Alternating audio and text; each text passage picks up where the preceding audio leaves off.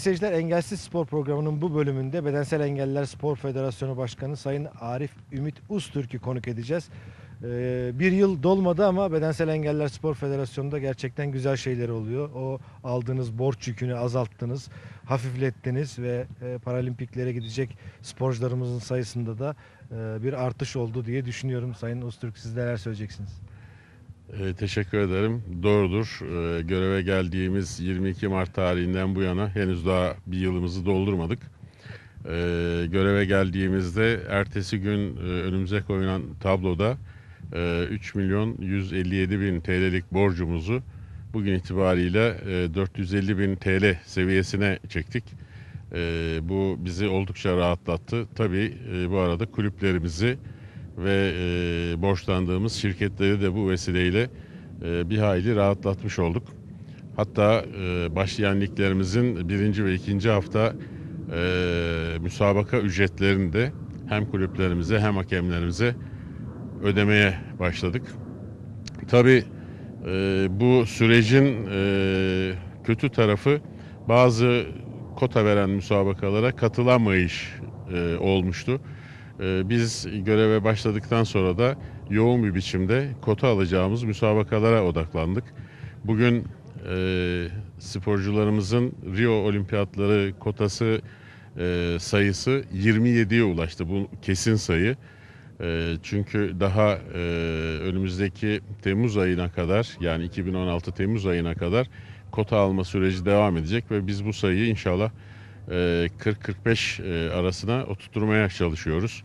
E, Dolayısıyla e, Rio bizim için tabii çok önemli. Bakın atıcılık branşımız 8 tane kotalı sporcuya sahip oldu.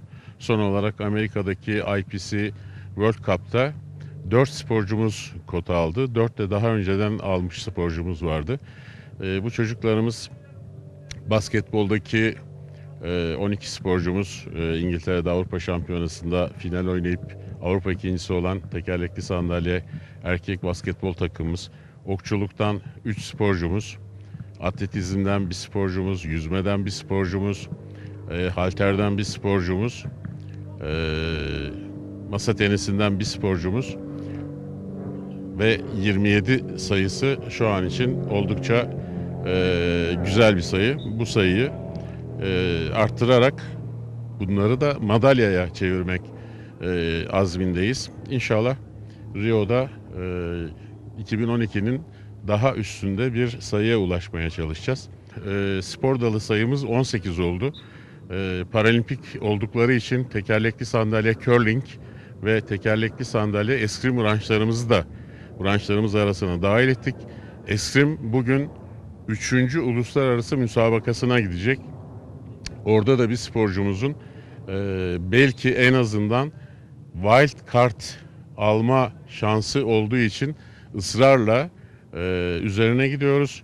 Teniste de gene Büşra kızımızın böyle bir şansı var. E, Büşra'yı da bugün herhalde e, hem sponsor desteğiyle hem federasyonumuzun katkılarıyla gönderdiğimiz uluslararası organizasyon, organizasyon sayısı 11-12'ye ulaştı. Bunlar çok önemli şeyler. Öncelikle tabii Engelsiz Spor'a çok teşekkür ediyorum. Ee, geçtiğimiz dönemde de özellikle ampute futbol liglerini e, canlı olarak her hafta ekranlara getiriyordunuz.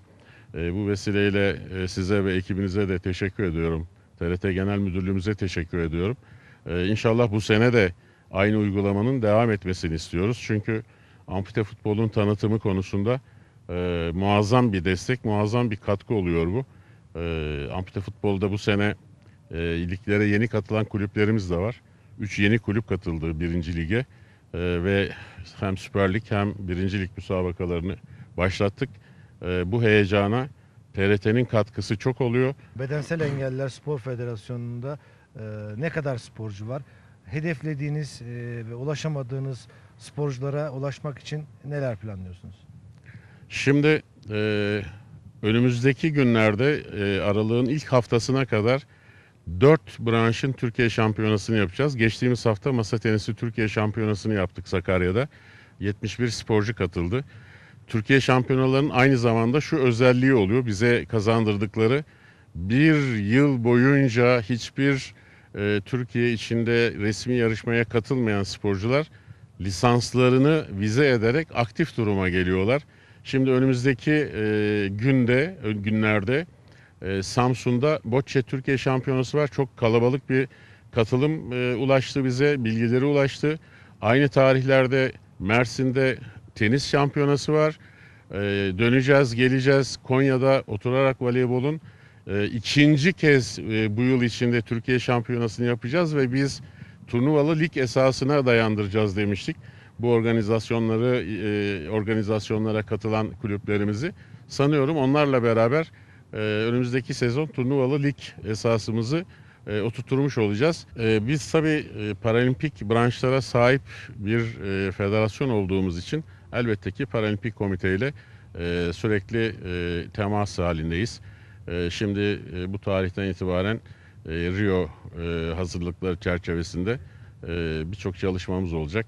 17 Aralık'ta e, Sağlık Kurulumuzun da e, önderliğinde tüm e, branşlarımızın e, milli takım antrenörleri, teknik kurul üyeleri e, dopingle ilgili çok önemli bir seminerden e, geçecekler. Ankara'da yapacağız. E, diğer engelli federasyonlarıyla e, tabii paralimpik e, sporcu yetiştiren daha çok e, görme engellilerle bizim Türkiye Bedensel Engelliler Spor Federasyonumuz, İşitme Engelliler Federasyonu'nun önemli bir e, organizasyonları var ama paralimpik bir spor dalı spor federasyonu olmadığı için e, genelde faaliyetlerimiz biraz daha e, birbirinden e, ayrı seyrediyor.